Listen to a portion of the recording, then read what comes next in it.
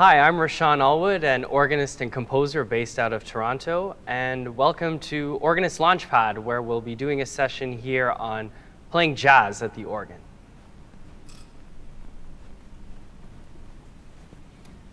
So when it comes to playing jazz at the organ, there's a couple key things that are important to discuss, and I'm going to break them apart in this short presentation. The first is registration. We want to make sure that we sound jazzy in the sounds that we're getting out of the organ.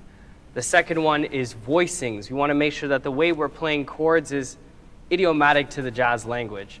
And then, of course, we'll talk about some improvisation and we'll go through some chord progressions that are fun to practice and that you might be able to try out on your own. So let's start with some sounds. So the sounds we uh, want to stay away from are in some ways the kind of traditional neoclassical sounds, mutation, or mixtures and, and plenums are not so well suited to jazz. One thing which is definitely well suited to jazz are strings, celestes, mixed in with flutes.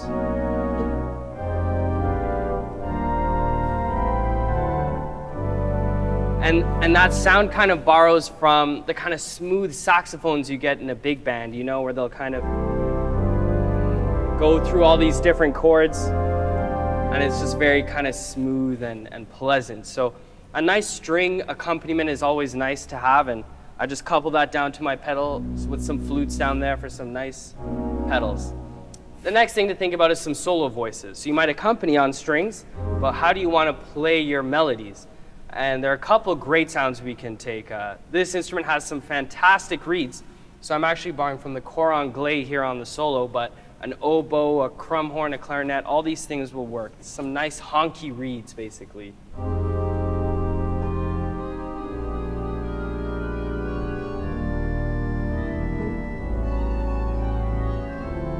To have that, it's almost like a harmonica, you know, it reminds me of Stevie Wonder or jazz fusion artists like Pat Metheny, that kind of smooth sound. So nice, smoother, honky reeds are always really fun.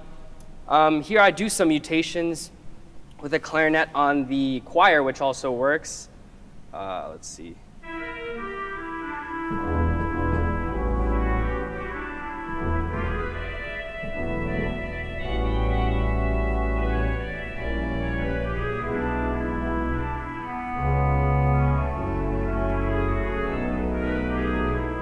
So that kind of reeds are always great.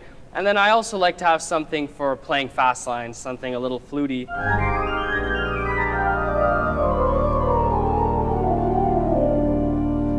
So yeah, like on an organ like this where we have all these manuals, you can kind of have all these different sounds set up, various reeds, some nice flutes, some sesquialteras, all these kinds of things sound really nice for jazz. So really think nice, smooth sounds, but when it comes to melodies, you want something that has some energy and life, but isn't gonna get held back by too many mutations or too many principals. All right, let's talk a little bit about the voicings. So we have our sound. Let's go back to our string sound. I'm gonna add the voix humaine to it, which is again kind of a tradition from orchestral transcription playing where you combine your strings with uh, your voix humaine. So you get a kind of buzzing in the background. So let's talk about some voicings. So here's a simple C major chord. Not that jazzy, not that jazzy. But the first thing when it comes to jazz is thinking about adding extensions. So we add the 7, the 9. How about the sharp 11, the 13? Right? So you can kind of stack up these chords. Same thing on a minor chord. Let's look at minor, A minor. Right? You can kind of stack these chords. And then when it comes to voicing them, the kind of way you want to arrange them to play on the organ is you just want to take some of those upper voices, those extensions, put them below. So here's our C major 7. Let's take these two extensions and put them down here. Now we're getting something a little bit more jazzy. Let's take out this C and replace it with a D, so it's like a 9 and add 2. And then we have our C in the bass, right? So we went from playing a C major like this to like this right? A lot more jazzy. You can do the same thing with all your minor chords. Here's an A minor chord with all those extensions. And then let's take all of this, bring it down here. And then you can just kind of fiddle it around. So let's take our seven and our five and seven, put them down the octave, put in the nine, like we did in the C major. Right, so we go from playing a A minor like this to like this. So it's really about kind of using extensions. You don't often need the root in the chord because the root is taken by the bass. So here's how I might play B major 7. No B in it, but we have the F sharp, the 5th, the A sharp, which is the 7, we have the C sharp, which is the 2, the D, which is the 3, and the G sharp, which is the 6. Then you put your root there in the pedal, and you can play something on B major. Let me turn it down a little bit. So when it comes to voicings, yeah, you want to avoid doing traditional closed triads. You want to add extensions and you want to kind of put them down the octave. Take out your roots. All those kinds of things will get you to some nice jazzy voicings. And the great thing about those jazzy voicings is it'll help you improvise too. Because if that's your voicing, you can play a melody line that outlines that voicing.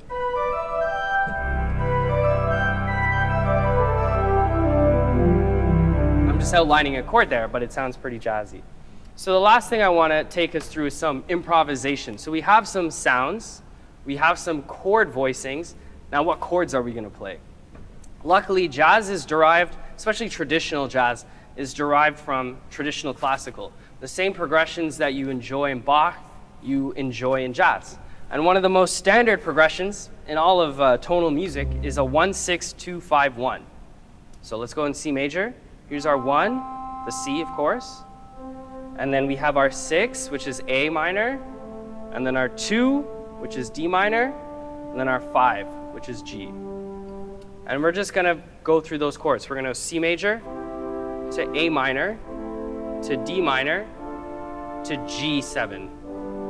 Right, but then we have to make those voicings sound a little jazzy. So here are some of the voicings we used before for C major right? And then for the A minor, we also have this one. D minor, here's a different voicing. Here's D minor, seven, nine. We just take out the root. There you go, there's your D minor. And then you can just take these two notes and bring them down for the G7. So we can just kind of play those. C major, A minor, D, G. C major, A minor, D, G. 1625. It's a great progression. And of course, when you get a little bit more complex, you can think about the five of the five, the five of the six, but we'll come back to that. Let's start with the simple C major. So you solo over the C, you're just gonna play a C major. The A minor is also the same. Actually, the whole progression is kind of the same, which is nice. When you're, so you can kind of just play around maybe with the first five notes.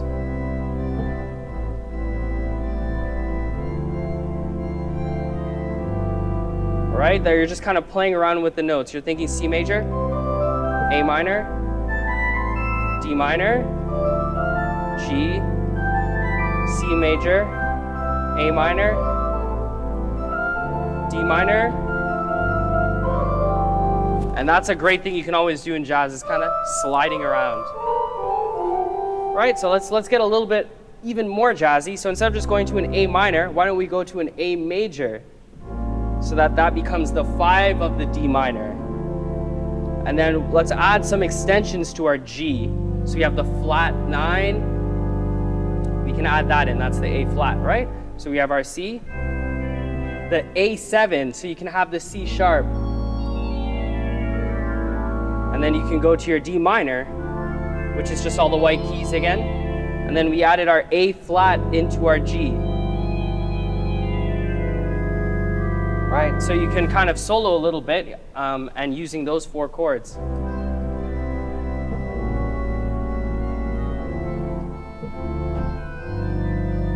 Right? So that gets kind of fun. And um, the last little trick in that turnaround is instead of going back to the C at the end, you can go to E, right? Because if you're in D minor and you're trying to go to set up to D minor, you have your two and your five of D minor.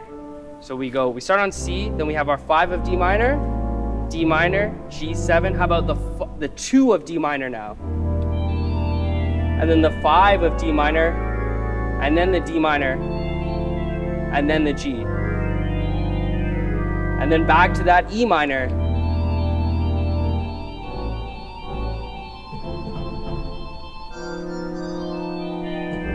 Right, so you're just kind of using those sounds to play around. And let's go back to our slightly fuller registration where we had some thicker chords. And yeah, I'll just uh, take you through some improv on that. Um, and so two fives, you can throw two fives in anywhere.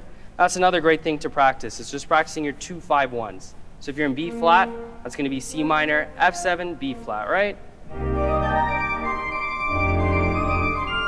Practice in different keys. And then here's the uh, six, two, five, one, six, two, five, one, six. Right? So you, there's a lot you can do, and it's just about playing with those progressions and getting more used to playing those turnarounds. That helps a lot in jazz. 99% of jazz tunes are two fives to various keys. So once you can play every 2-5, 2-5 to G, 2-5 to B flat, 2-5 to B, you know, once you can get around those two fives, it becomes a lot easier to play jazz. Okay, so why don't we take our little 1-6-2-5 progression in C and try a bit of a pedal solo on it, which, you know, it's a fun little exercise for, for organists who like to use our feet. So Let's give it a try. So first we just have to start playing the chords in our hands. So we have the C, the A, dominant seventh, the D minor, and then the G. All right.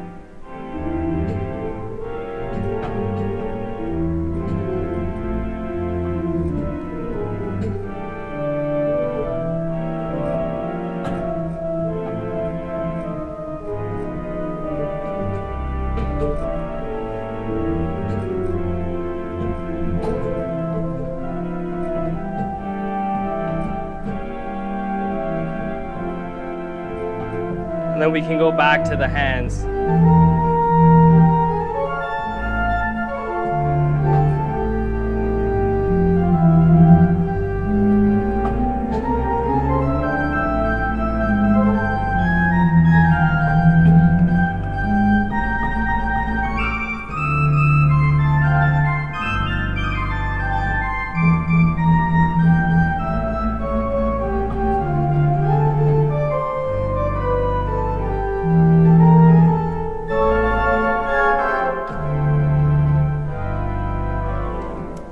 So yeah, you can kind of take that progression, take it through your hands, take it through your feet, just to get comfortable. And then as you start to transpose it, take it to other keys, you'll find that playing jazz in general gets easier as you get comfortable playing through various 2-5-1s, because that's really a, a foundation of jazz. So just a couple things about extensions, just to, just to be clear on that and just to finish off. Right, so when we had our C major extension, let me get some sound here. When we had our C major extension, there's our 9. We went to the sharp 11 with that F sharp. There's our 13. With the minor chords, yeah, you can you can have that sharp 11 or you can leave it out entirely depending on the context, right? If you're playing in C major and you want to kind of keep away from your F sharps, leave out that, that sharp 11, or that sharp 13 in this case on the A minor, right? So you have our 3, 5, 7, 9, 11. There's our sharp 13 if you want it, or you leave it out, right? And then when it comes to playing dominant seventh chords with those voicings, dominant seventh, um, there's our 9, there's our 11. You can also put the sharp 11 or the flat 9 as we did in the G7. So you can get to some really extended chords. It's just about kind of altering those extensions to the flavor of your choosing. So um, the last two things I'll show you is just a classic ending lick. When you're done your jazz improvisation, you can give it one of these.